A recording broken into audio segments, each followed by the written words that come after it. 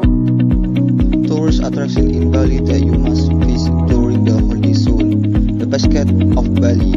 When discussing tourist attraction in Bali, it seems like you must visit the basket Bali, which is located in the Kuta area get on two main roads, namely Kuta Bypass or Rai.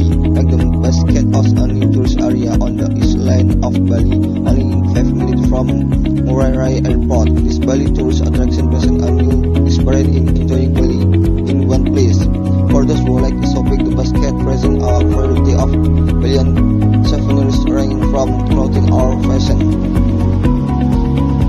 Crafts to food and drinks.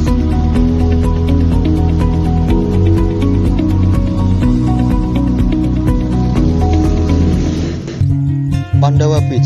This wet, sunny beach is quite popularity because it offers so exotic and enchanting views. Located in Kutuh Village, South Kuta Subdistrict, Badung Regency.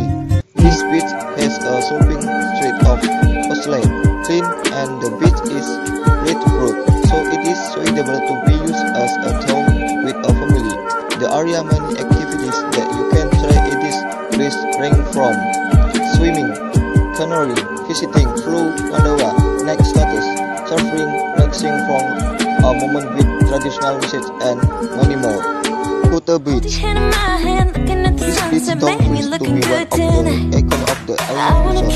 so the calm and sophistication of Kuta Beach really can be top. It's So what if you're you wanted to Kuta doing, Beach, making me feel like I'm with Luka and Koi falling. tourist everywhere.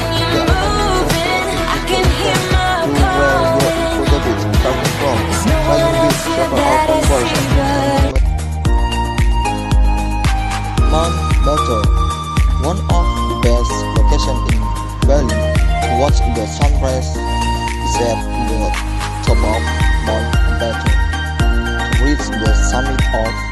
Batur, it usually takes about two and a half hours.